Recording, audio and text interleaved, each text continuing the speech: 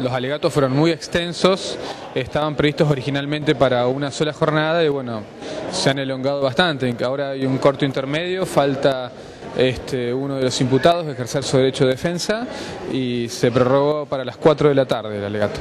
La defensa en su totalidad, doctora, ha solicitado solución. ¿Por qué motivo? Bueno, eh, como primer planteo lo que se dispuso es, este, o, lo que postularon es que el hecho tal como fue eh, este, incriminado no existió, que no existió el delito de peculado, este, y en algunos casos en subsidio un planteo de, cambio de calificación que llevaría a la prescripción de la acción. Existieron muchas irregularidades, desprolijidades, eh, consideramos que es así desde la acusación.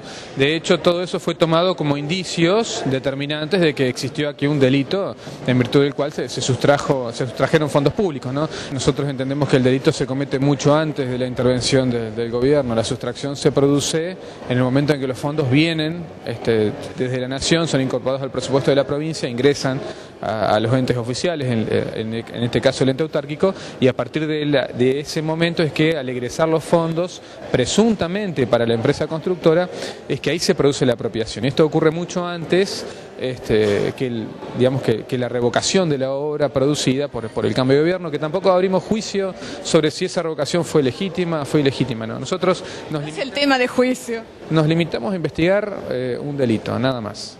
El delito de peculado, reiteramos, de acuerdo al Código Penal, establece una eh, condena de cuántos años. En ¿Una escala penal de cuánto? En abstracto trepa hasta los 10 años, desde los 2 años hasta los 10 ustedes han solicitado, digamos, penas de cumplimiento efectivo, doctor. Sí, sí, por el monto, a partir de los tres años, toda pena que, se imponga debe ser de cumplimiento efectivo. En este caso, todas superan holgadamente los tres años. Doctor, para aclarar, cuando ustedes solicitan una multa, un resarcimiento, por así decirlo, de 90 mil pesos, porque la ley, ¿qué establece? Porque es como irrisorio, si se quiere, disculpe el atrevimiento, 90 mil pesos en relación a los 14 millones de pesos dólar. ¿Por qué 90 mil y no más? ¿Qué dice la ley?